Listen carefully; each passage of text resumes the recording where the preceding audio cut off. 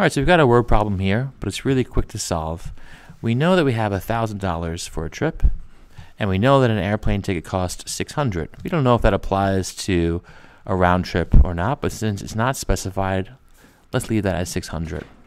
So this tells us our inequality, the amount of money we want to spend plus the cost of the airplane ticket has to be less than or equal to the $1,000 we've saved.